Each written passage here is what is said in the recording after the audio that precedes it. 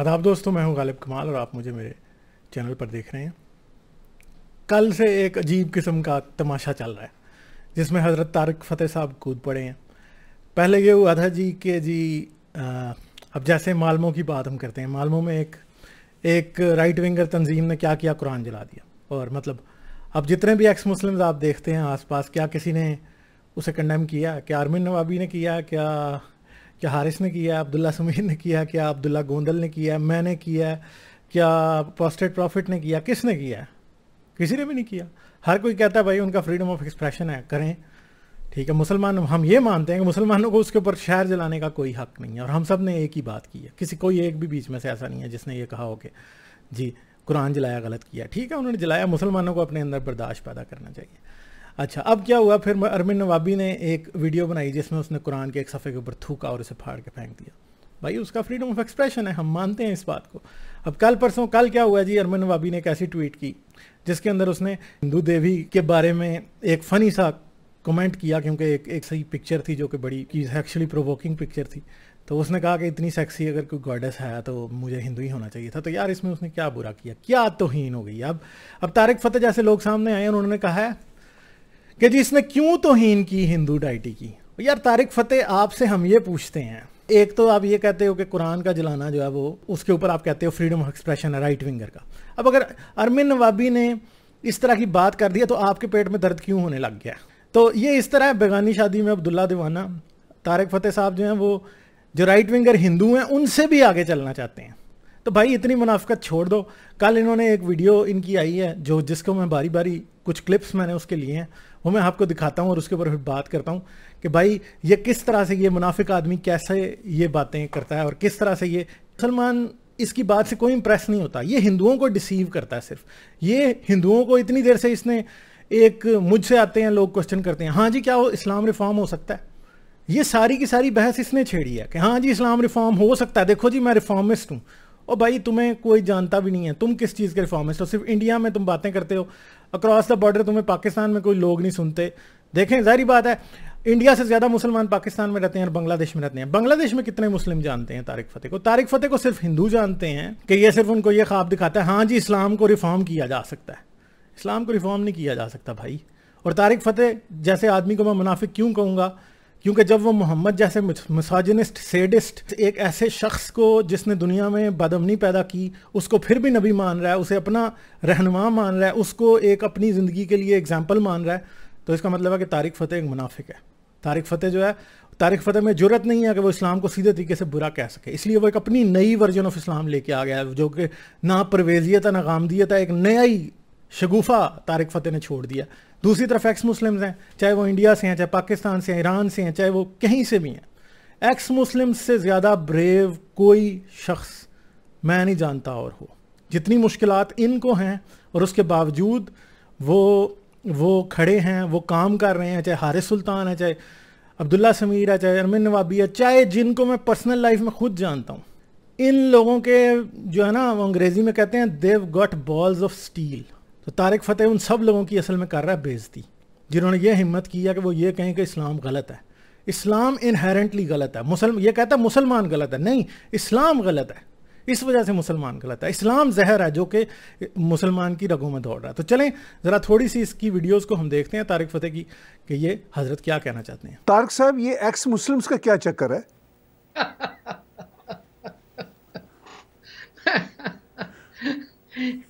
ये मुझे ऐसे लगता है कि इस्लाम से तंग आके और वो बजाय इसके कि वो इस्लाम के अंदर अगर समझते हैं कि कुछ मुसलमानों की खराबियाँ उसको एड्रेस करें, ठीक करें या जस्तजू करें, आसान तरीका होता है कि आप फ़ील्ड से ही चले जाएँ। मतलब फुटबॉल के मैच में जब गोलकीपर छोड़ के चला जाए और कहे, जी, मैं, मुझे पसंद नहीं आता तो गोल तो पड़ेंगे। अब क्या हुआ है कि इस्लाम तो छोड़ दिया इन्होंने। अरबों के नाम नहीं छोड़े। अब ऐसे भी एक्स मुस्लिम हैं जो अपने आप को सैयद कहते हैं। यानी रिश्ता नहीं तोड़ना चाहते बोले हैं तो हम आ, इस्लाम के बागी लेकिन सैयद हैं साहब। बिल्कुल रसुल्ला की औलादों में से हैं। तो ये सारा प्रॉब्लम है। मुझे ये लगता है कि अच्छा जी तो सबसे पहला जो एक पॉइंट दिया गया तारिक फतेह की तरफ़ से वो था। ये ये पहला ये पहला आर्ग्यूमेंट था जो कि तारिक फतेह की तरफ़ से आपको और मैं, आपके और मेरे सामने पेश पेश किया गया। ठीक है? अब कहते हैं जी, फ़ील्ड से चले जाते हैं ये लोग। ये ताकि गोल पे गोल होते हैं ओ, हज़रत, ये ज़िंदगी है, ये हकीकी दुनिया है। This is the real world ये कोई खेल तमाशा नहीं है। आप समझ रहे हैं? कि ये खेल तमाशा हो रहा है, ये कोई कोई फुटबॉल का गेम है? हज़रत, ये एक हकीकी ज़िंदगी है। हकीकी ज़िंदगी में जब किसी को धोखा होता है, इंसान को ये पता चलता है कि इस्लाम ने उसे पूरी ज़िंदगी धोखा दिया तो अब वो क्या करे? वो इस्लाम को इस्लाम को फिर भी अपने सीने से लगा के रखे, गले में पहन के रखे, गले का तोक, जूतियों का जो हार इस्लाम ने उसको, जूतियाँ जितनी मारी हैं इस्लाम ने उसको, उनका सबका हार पर बना के गले में पहन ले। या फिर इस्लाम को वो सारी जूतियाँ, ठीक है, सूद समेत वापस करे। तो बेसिकली जो एक्स मुस्लिम कर रहे हैं, वो यही काम कर रहे हैं, इतनी ज़रूरत आप में नहीं है कि आप इस्लाम को बुरा कह सकें, आप रसूल को बुरा कह सकें, उस शख्स को जिसने छः साल की बच्ची से शादी की, उस शख्स को जिसने बनु कुरेजा वालों का कत्ल कराया, उस शख्स को जिसने हज़ारों रेप्स को एक अच्छाई और लिजिटमाइज किया, जितने भी उसके साहबी थे, जब जंगों पर जाते थे, वो रेप्स करते थे। चाहे अली रेपिस्ट हो या कोई और एक्स वाई जेड जितने भी साहबी थे, सारे रेपिस्ट थे। आप में उनको बुरा कहने की हिम्मत नहीं है। तो आप ये याद रखें कि एक्स मुस्लिम जो एक्स मुस्लिम एथियस्ट हैं, वो इस्लाम को छोड़ के ना तो हिंदू बनेंगे, ना वो क्रिश्चियन बनेंगे, ना वो बुद्धिस्ट बनेंगे, वो इंसान बन रहे हैं सब के सब। और तारिक फसे साहब, आपको, आप उन सबको एक नई किस्म का इस्लाम इंट्रोड्यूस करके उस इस्लाम का जानवर बनाना चाहते हैं, ताकि आप बाद में आराम से उस पर छुरी फेरें और सारा मफाद आपको हासिल हो। ठीक है? ये सब आपके, आपका मफाद है। आप दिन रात बैठ के जो है, पाकिस्तान की बुराई करते हैं। भाई, पाकिस्तान बुरा नहीं है। पाकिस्तान में रहने वाले भी बुरे नहीं हैं। ये उनके अंदर जो जहर इस्लाम का भरा है, वो बुरा है। उस जहर की वजह से पाकिस्तान बुरा है और उस जहर की वजह से पाकिस्तानी जो हैं, वो उल्टी सीधी हरकतें करते हैं। आप भी तो पाकिस्तानी हैं। आप भी उसी तरह की मुनाफ्त की गेम खेल रहे हैं जो कि सारे पाकिस्तानी वैसे खेलते हैं। लोग मज़हब बेच देते हैं, आपने मुल्क बेच दिया। सिंपल सी बात है। आपको ज़्यादा मसला पाकिस्तान से नज़र आता है। हालाँकि मैं नहीं समझता, पाकिस्तान बुरा नहीं है। इस्लाम और उससे रिलेटेड जितने भी प्रॉब्लम पाकिस्तान में एग्जिस्ट करते हैं, वो बुरे हैं। और बाकी पाकिस्तान में बाकी की जितनी बुराइयाँ एग्जिस्ट करती हैं, वो सब इंडिया में भी एग्जिस्ट करती हैं। करप्शन रेप्स के प्रॉब्लम्स और दूसरी किस्म के प्रॉब्लम्स बहुत से प्रॉब्लम पाकिस्तान के इस्लाम रिलेटेड हैं, मगर बाकी के सारे के सारे, शायद हमारा साउथ एशियन एक कल्चर ऐसा है कि हम बेईमान भी हैं। और दूसरी बात फिर उन्होंने की एक्स मुस्लिम अपने आप को सैयद कहते हैं। हज़रत ये ज़ात पात और ये अपनी ज़ात पे, ब्राह्मणिज़म पे फ़ख्र करना या सैदिज़म पे फ़ख्र करना, ये किधर से आया? ये हिंदुज़म का रेमनेंट है, जो कि ये चाह के भी अपने अंदर से नहीं निकाल सकते। कि ऊंच नीच, ज़ात पात, हसब नसब पे फ़ख्र करना, दूसरे को नीच कहना, ये हिंदू मत से आई आदत। तो आपको शर्म आनी चाहिए ऐसी बातें करते हुए। आपको पता होना चाहिए कि साउथ एशिया या पाकिस्तान में जो बुराइयाँ उन, वो सब की सब इस्लाम रिलेटेड ही नहीं है। ये कॉकटेल है एक, जहालत का मजहबी रेमनेंट्स का मजहबी करंट्स का, और जो बाकी के सारे प्रॉब्लम्स हैं उनका। तो अगर कोई आदमी एक्स मुस्लिम भी बन जाता है तो ज़रूरी नहीं है कि उससे एक दिन में ही सब कुछ वो छोड़ देगा। अभी तो बात यह है कि पाकिस्तान में तो एक्स मुस्लिम अपने आप को बेचारा रिकगनाइज ही नहीं करा सकता। मसला यह है कि आपकी तान तो टूटती है इंडिया के इंडिया के एक्स मुस्लिम्स में। ठीक है तो इंडिया के एक्स मुस्लिम्स के प्रॉब्लम्स और हैं, मगर पाकिस्तान के अगर एक्स मुस्लिम्स के प्रॉब्लम देखे जाएँ तो भाई हमें तो अभी रिकग्निशन ही नहीं मिली। और आप एक पहले से मार्जिनलाइज और कॉर्नेट ग्रुप के ऊपर और आप बात कर रहे हैं आपको शर्म आनी चाहिए। अगली आग, आगे जी इनका दूसरा क्लिप मैं दिखाता हूँ आपको। अब तो ये भी नहीं कि हमको कोई क्रिटिसाइज करे उनको कुछ नहीं कोई कहता एक्स मुस्लिम को उन्होंने कहा दफ़ा अपनी बोहिमियन ज़िंदगी डालनी लोग तो मज़े के लिए एक्स मुस्लिम होते हैं ना कि अब कोई मॉरल अथॉरिटी नहीं रही अब कुछ नहीं कर सकते अब सब दारू वारू जुआ यू नो जैसे रहना है वो रहें। इरेलीवेंट हो गए। तो अब रेलिवेंट होने के लिए और मुसलमानों के अपनी कम्युनिटीज में कुछ एक दरवाज़ा छोटा सा ओपन करने के लिए उन्होंने कहा, देखो, हम तुमसे ज़्यादा गालियाँ दे रहे हिंदुओं को। ये इतनी इरेशनल और इनसिक्योर ज़िंदगी आइडेंटिटी हो गई इनकी कि इनको चाहिए कि अब छोड़ तो दिया इस्लाम। लेकिन यार कुछ हो सकता है उठ उठना बैठने में कल्चरल गैदरिंग में मुसीबत हो तो मुस, आम मुसलमान तो हिंदुओं को गाली नहीं था हम देते हैं। और इस तरह फिर हम नॉन मुस्लिम होते हुए मुस्लिम नेशनलिस्ट हो जाएँगे। अच्छा जी अब ये कहते हैं लोग मज़े के लिए एक्स मुस्लिम होते हैं। यानी ये इतनी शैलो जहनीत है इतनी शैलो मैंटेलिटी है और स्टीरियोटाइप करने का मतलब इंतहा तारक फतेह ने कर दी है। और मुझे ये लगता है कि मतलब ये यहाँ तो किसी भी एक्स मुस्लिम को नहीं जानते, यहाँ फिर सरासर झूठ बोल रहे हैं। और बल्कि मुझे ये लगता है कि जानते ज़रूर हैं, मगर झूठ बोल रहे हैं। तो ये झूठा एक दावा है यहाँ पे। और मतलब और ये भी बात, जैसे ये कह रहे हैं कि लोग इस्लाम से इसलिए चिमटे रहते हैं कि बाद में उनका जनाजा पढ़ने के लिए कोई आ जाए तो मुझे ये लगता है कि हज़रत इस्लाम इसलिए आखिर पे दोबारा मुसलमान हो जाते हैं कि कोई आके इनका जनाजा पढ़ा दे। मुझे मैं भी ये कह सकता हूँ कि आप आज तक इस्लाम से इसलिए चिमटे हुए हैं कि कोई, आप चाहते हैं कि कोई मौलवी आके आपको नहला दे और साथ में आपका जनाजा पढ़ा दे। दूसरी बात है कि आप कह रहे हैं दारू और जुआ, इसके लिए हो जाते हैं। हज़रत, दारू और जुआ जो है वो हिंदुस्तान में और कनाडा में और बाकी में नॉन इस्लामिक मुल्कों में जायज़ है। ठीक है? कनाडा में आप रहते हैं, कनाडा में भी जायज़ है। कनाडा में अगर कोई शख्स एक्स मुस्लिम होता है तो इसका मतलब है कि वो दारू और जुए की वजह से हुआ है। भाई, उसको तो वैसे ही मिल रहा है ना। चाहे जुआ भी जाके खेल सकता है। जुआ दारू पीने के लिए या जुआ खेलने के लिए क्या किसी को इस्लाम छोड़ना लाजमी है? मतलब मुझे आप ये बताएँ कि आपके पास इतने ब्रिलियंट आइडियाज़ आते कहाँ से हैं कि लोग दारू और जुए के लिए इस्लाम छोड़ देते हैं? और हज़रत, लोग दारू और जुए के लिए अगर इस्लाम छोड़ते हैं तो मुसलमान होते हुए जो सारे ये मुसलमान दारू और जुआ कर रहे हैं, इन्होंने इस्लाम छोड़ा, फिर किया है? या ये इस्लाम के होते हुए भी कर रहे हैं? और दूसरी तरफ़ आप दारू और जुए को बुरा कह रहे हैं तो हज़रत फिर ये भी समझें, इंडिया में भी दारू कानूनी है और जुआ भी कानूनी है, कानूनी तौर पे होता है। और कनाडा में भी जुआ भी होता है कैसीनोज भी हैं और पब्स भी हैं, ठीक है? तो अगर आपको इतना ही एतराज़ है तो इन, इनके ऊपर ज़रा फिर आप पहले बात करना शुरू करें ना। तो असल में तो ये हज़रत ना दारू को बुरा समझते हैं, ना जुए को बुरा समझते हैं, मगर मसला ये है कि ये यहाँ पे जो राइट विंग हिंदूज़ हैं, उनके साथ पॉइंट स्कोरिंग में इतने आगे निकल गए हैं कि बस मुनाफ्त ही मुनाफ्त है। या मुनाफ्त तेरा ही सहारा। ये इस वक्त तारक फ़तेह साहब कह रहे हैं। तो एक्स मुस्लिम क्या करते हैं, क्या नहीं? उनका पर्सनल प्रॉब्लम है। तारक फ़तेह साहब की सोच, जो नीच सोच है, उसका इस बात से पता चल जाता है कि इस किस्म के ज़ातियात वाले या पर्सनल अटैक्स जो शख्स करता है, वो कैसा हो सकता है? यू you नो know वो कैसा होता है? वो एक नीच शख्स नीच शख्स होता है। तो हम भी यही कह कह सकते हैं कि जी, आप खुद इस्लाम असल में छोड़ चुके हैं, मगर मुसलमानों के साथ छोटा सा दरवाज़ा इसीलिए खुला रखा, अपने आप को मुसलमान कहते हैं, ताकि हिंदुओं और मुसलमानों के सामने ये कह सकें कि आप मुसलमान हैं। हिंदुओं के सामने अपने आप को मुसलमान आप इसलिए कहना चाहते हैं ताकि हिंदू कहें हाँ भाई, देखो वो तो मुसलमान होते हुए भी इस्लाम को गलत कहता है। या फिर वो मुसलमान होते हुए भी हिंदुज़म की बड़ी तारीफ़ करता है। ठीक है? और मुसलमानों के सामने आप इसलिए मुसलमान बने हैं शायद को थोड़े बहुत एक इक्का दुक्का आपकी तरफ़ आ ही जाते हैं। ठीक है? तो मसला ये है कि ये सब कुछ या मुनाफ्त तेरा ही आसरा। मुझे तो वही लगता है असल में। ये जो है सेगमेंट ऑफ़ पॉपुलेशन और ये मैंने देखा इसमें कुछ ईरानी लोग भी हैं, कुछ अरब भी हैं जो एक्स मुस्लिम हैं, जिनका हिंदुओं से कोई ताल्लुक नहीं है।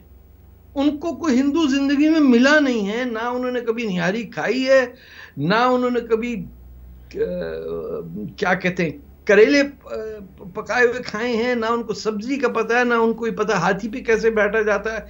टाइगर क्या होता है नॉर्थ इंडिया क्या है, साउथ क्या है, भगवान क्या है, कुछ नहीं पता उनको। यानी अयोध्या पे उनको ज़ीरो इल्म है, वो बैठे हुए वहाँ तकरीर कर रहे भाई बाबरी मस्जिद बाबरी मस्जिद के लिए, अरे तुम एक्स मुस्लिम हो, तुम्हारा क्या उससे ताल्लुक? तुम इस डिबेट से खारिज हो। लेकिन फिर आप देखिए कि कुछ ना कुछ जोड़ तो होना चाहिए ना। ये जैसे इंश्योरेंस पॉलिसी नहीं होती, छोटी सी आप प्रीमियम देख के ले लेते मर मर आ गए तो किसी का फ़ायदा हो। तो ये इंश्योरेंस पॉलिसी है। सर, यहाँ पे कनाडा में बैठे हुए कुछ एक्स मुस्लिम्स ने रिसेंटली एक अफसोसनाक तरीके से डेटीज़ की जैसे इंसल्ट की सोशल मीडिया पर। हाँ हाँ मैंने देखा। आपने देखा और वो इरेलीवेंट लोग हैं उनके नाम भी हर लेना बेकार है मगर मुझे जो महसूस हुआ कि वो फ्रीडम ऑफ़ एक्सप्रेशन की आड़ लेके ऐसा करना चाह रहे हैं। एक तरफ़ तो वो स्वीडन में होने वाले हाँ। जो राइट्स हैं उनको जस्टिफाई कर रहे हैं कि भाई हाँ वो बहुत बुरा किया कुरान जला के वो तो आप और मैं भी कहते हैं ऐसा नहीं करना चाहिए। लेकिन वो ये भी कहते हैं और साथ वो कह रहे हैं कि हमारे पास फ्रीडम ऑफ़ एक्सप्रेशन है हम डेटीज की आ, इंसल्ट करेंगे और उन्होंने पहले कुरान पे थूका जी। और फिर हिंदुओं को ये वो क्या है? लाइसेंस टू किल जो था डबल ओ सेवन के पास था। ये वो है कि क्योंकि हम अपने कुरान पे थूक रहे हैं। हम्म। तो मुसलमान ये ना समझें कि हम उनके खिलाफ हैं हम उन्हीं में से हैं हाँ. क्योंकि हम हिंदुओं को ज़्यादा थूकेंगे। राइट दिस इज़ तार भाई ये मसला ये है कि एक आइडेंटिटी क्राइसिस जो पैदा हुई है between whether you are part of the ummah, ummat or you are Arab nationalist or Persian supremacist, आपको समझ नहीं आ रहा है कि आप हैं कौन। अरे यार मुझे तो यहाँ से ये पता लगा तारिक फतेह को ये पता है कि हाथी पे कैसे बैठा जाता है। यानी पूरे का पूरा जो क्लिप था, इसमें सिर्फ़ एक बात समझ आई है, तारिक फतेह को पता है कि हाथी पे कैसे बैठते हैं। तारिक फतेह को पता है कि टाइगर क्या होता है। और यार, केजी के बच्चे को भी पता टाइगर क्या होता है। हज़रत, आप पता नहीं क्या बातें करते हैं। आर्ग्यूमेंट तो दो, कोई मिसाल तो देनी आनी चाहिए। कुरान जलाना जो है, वो दुरुस्त है, मगर हिंदू गॉडेस का मज़ाक उड़ाना गलत है। असल में अरमिन नवाबी ने इनको एक पॉलिटिकल पॉइंट स्कोरिंग जो कि हिंदू राइट विंग के साथ करते हैं, उसकी बड़ी एक बड़ा अच्छा मौका फराहम किया। और ये अब खुल के जो है ना बोलने लगे हैं। तो बात ये फिर कह रहे हैं फ्रीडम ऑफ़ एक्सप्रेशन की आर्ट भाई कौन सी आर्ट फ्रीडम ऑफ़ एक्सप्रेशन की? ये फ्रीडम ऑफ़ एक्सप्रेशन है, उसने एक्सरसाइज कर लिया भाई। अब वो आर्ट कहाँ ले रहा है? उसने कर दिया ना एक्सरसाइज आर्ट तो नहीं ली ना। आर्ट तो ये होती है कि उसके पीछे छुप के कोई और साजिश करे। भाई, उसने कर दी है सामने। कुरान पे भी थूक दिया उसने। सामने सामने उसने देवी की भी बात कर दी, देवी का भी जो है ना उसने मज़ाक उड़ा लिया। तो इससे क्या? है तारिक फतेह, पता नहीं आप किस रॉक के नीचे रहते हैं, ये जितने भी एक्स मुस्लिम्स आपको नज़र आते हैं या इथियस नज़र आते हैं, ये सिर्फ़ इस्लाम की नहीं करते। मसीहत की क्रिश्चियनिटी की अच्छी खासी क्लास होती है, जूडाइज़म की अच्छी खासी क्लास होती होती है हिंदुज़म की भी क्लास दबा के ली जाती है। अभी तो हिंदुओं ने इसके ऊपर कोई शोर डाला भी नहीं है। और यहाँ बेगानी शादी में अब्दुल्ला दीवाना, तारक फ़तेह साहब, शाह से ज़्यादा शाह के वफादार जो है, मैदान में आगे नंबर टांगने। राइट विंग हिंदुआ देख लो, मैंने जो है ना, मैंने तो तुम्हारी डेटी की तोहन हुई है तो मैंने इसको डिफेंड किया। मैं डिफेंडर हूँ तुम्हारा। वो हज़रत, जहाँ पे हिंदुओं को अपने डिफेंस की ज़रूरत होगी, वो कर लेंगे। फिर मैं तो ये बात करता हूँ कि आप इस्लाम नहीं छोड़ते। क्योंकि आपको वो सारे मसले हैं जो कि आप एक्स मुस्लिम में डिफाइन करने की कोशिश कर रहे हैं। आप कहते हैं मुसलमानों ने हिंदुओं को गाली नहीं दी एक्स मुस्लिम आके देने लगे। और किस दुनिया में रहते हो? कौन से प्लानट से आए हो? मार्स से आए हो? वीनस से आए हो? यहाँ के अल्फ़ा सेंटारी के किसी प्लानट से आए हो, हज़रत? क्यों नहीं देते मुसलमान हिंदू को गाली? मुसलमान हिंदुज़म को भी गाली देता है, हिंदू को भी गाली देता है। हम ना हिंदू को गाली देते हैं, ना मुसलमान। हम इस्लाम को बुरा कहते हैं और साथ हिंदू रिलीजन को भी बुरा कहते हैं, क्योंकि सारे रिलीजन्स फेक हैं। मोहम्मद भी झूठा नबी था तो दूसरी तरफ़ अगर किसी देवी की बात हुई है तो देवियाँ भी मौजूद नहीं हैं। दे आर नॉन एग्जिस्टेंट वो फिक्शन है। ठीक है? तो ये सब जो है फिक्शन की बातें हैं, जिनको हम गलत अगर कहते हैं तो आपकी पेट में इतने दर्द क्यों उठते हैं? हज़रत, पता तो आपको नहीं है कि आप क्या हैं। आप अपने आप को कहते हैं मुसलमान हैं, सारे मुसलमान आपको कहते हैं आप मुसलमान नहीं हैं। खैर, वो तो सारे ही मुसलमान एक दूसरे को कहते हैं कि आप मुसलमान नहीं हैं। तो बात यह है कि एक्स मुस्लिम क्या करते हैं? क्या वो इस्लाम से रिलेटेड रहना चाहते हैं? क्या वो अपने आप को उम्मा का हिस्सा मानते हैं? नहीं मानते। आपको किसने कहा मानते हैं? क्या वो रहना चाहते हैं एसोसिएट उमा से? नहीं। आप तो हज़रत एक तरफ़ इस्लाम के पीछे भी छुप रहे हैं। दूसरी तरफ़ आप इंडियन हिंदुत्वा के पीछे भी छुपना चाहते हैं। तो भाई एक्स मुस्लिम तो किसी चीज़ के पीछे भी नहीं छुप रहा, ना इस्लाम के पीछे, ना मुसलमानियत के पीछे, ना वो कह रहा है कि वो इस मुसलमान कम्युनिटी का हिस्सा है। वो तो कहते ही नहीं है ऐसा। आपको किसने कहा है? कौन सा एक्स मुस्लिम कहता है? मुझे बताएँ ना, कौन सा एक्स मुस्लिम और साथ मुझे ये बताएँ कि जितने भी आज सामने हमें एक्स मुस्लिम नज़र आ रहे हैं, इनमें से किसने कहा है कि जी नॉर्वे में नॉर्वे में कुरान जला था पहले, यहाँ भी स्वीडन में कुरान जला है तो दिस शुड बी ये गलत बात हुई है। हम तो कहते हैं कि फ्रीडम ऑफ़ एक्सप्रेशन है भाई। हो गया, जिसने भी किया प्रैक्टिस ठीक किया। हम किसी भी, किसी की भी जान जाने पे नहीं मानते। ना हम ये कहते हैं कि कोई कुरान जलाए तो उसको बुरा कहा जाए, और ना हम ये कहते हैं कि कोई हिंदू देवी को बुरा कहे तो उसको बुरा कहा जाए। दूसरी तरफ़ बात यह है कि तारक फतेह साहब बेसिकली ये इतनी देर से पीट रहे हैं ढोल कि भाई क्योंकि अब आप एक्स मुस्लिम हैं, अब आपको किसी इस्लाम पे तनकीद करने की इजाज़त नहीं। दूसरी तरफ़ आप ये कहें क्योंकि आप एक्स मुस्लिम हैं, आप सिर्फ़ इस्लाम पे तनकीद करें। दूसरी तरफ़ ये कह रहे हैं आप हिंदुज़म को कुछ ना कहें। तो मुझे बताएँ कि इन दोनों में से तारक फतेह की कौन सी बात को माना जाए? मुझे तो लगता है कि तारक फतेह यहाँ तो खुद कन्फ्यूज़ हैं, यहाँ आपको कन्फ्यूज़ कर रहे हैं असल में। तो ये बंदा बेसिकली आपको धोखा दे रहा है, ये एक मुनाफिक हिपोक्रेट आदमी है, और कुछ भी नहीं है। तो ये दूसरों को हिपोक्रेट हिपोक्रेट हिपोक्रेट क्या क्या के, असल में ये खुद हिपोक्रेट है। क्योंकि ये बेसिकली इसको ये अब नज़र आ रहा है कि सामने एक्स मुस्लिम्स आ रहे हैं, इसकी क्लास भी शुरू होगी, कुछ अरसे बाद ये जो जो इसने एक बड़ा झंडा उठाया कि हाँ भाई मैं रिफॉर्मिस्ट हूँ और एक्स मुस्लिम अब ये दिखा रहे हैं हाँ भाई रिफॉर्म भी नहीं हो सकती ये फजूल मज़हब में रिफॉर्म भी होने का कोई चांस नहीं है। ठीक है तो अब तारक फ़तेह क्या करे? तारक फ़तेह बेसिकली अपना ढोल लेके कुछ अरसे बाद रिटायर होने वाला है। तो ये जब एक्स मुस्लिम देखते हैं ना तो इनकी आँखों में चमक आ जाती है। Oh my God ex Muslim अच्छा वो, बेचारा एक्स मुस्लिम का तीन चार महीने की शोहरत होती है वो आ, गाली देते हैं हर एक को और उसके बाद मेरे ख्याल से इनकम स्टॉप्स या क्या होता है तो देर इधर डिसपियर आप देखिएगा कई हम आप जानते हैं लोगों को जिन्होंने, जो रिटायर हो गए दो तीन साल गालियाँ वाली देने के बाद इस्लाम को वो घर चले गए। और उनसे हम कहते रहे इशू इस्लाम का नहीं है, मुसलमानों का है। आप उसमें से कुछ भी डिराइव कर सकते हैं ऑर्डर करेक्ट कर सकते हैं, क्या कुछ नहीं हो सकता। अरे बीबी, खदीजा के पीछे ले लें तो फेमिनिज्म की तो इंतहा हो गई ना। अच्छा जी तो हज़रत कह रहे हैं कि दो तीन साल लोग इस्लाम को गालियाँ देते हैं, फिर रिटायर हो जाते हैं। ओहो हो, क्या बात की आपने। लगता है आपको पता ही नहीं है। ये अरमन नवाबी आठ साल, आठ दस साल से ये इधर चल रहा है। अब्दुल्ला समीर को पाँच छः साल से चल रहा है। ये हारे सुल्तान को कोई तीन, चार साल हो गए। और कितने एक्स मुस्लिम मैं जानता हूँ, पता नहीं कितने कितने, कहाँ कहाँ बैठे हुए हैं। वो तो रिटायर नहीं हुए। हज़रत रिटायर आप होने वाले हैं। आप ओवर एज जा रहे हैं, आप सेवेंटी प्लस हैं। ठीक है, आप रिटायर होने वाले हैं और आप बहुत जल्दी रिटायर होने वाले हैं क्योंकि जो जो क्वेश्चन हम अब मुँह में लोगों के डाल रहे हैं ना, हिंदुओं के मुँह में भी जो डाल रहे हैं, वो आपसे भी पूछेंगे कि भाई आप अभी तक मुसलमान क्यों हैं? आपने क्यों इस्लाम नहीं छोड़ा? क्योंकि उनको नज़र आ रहा है।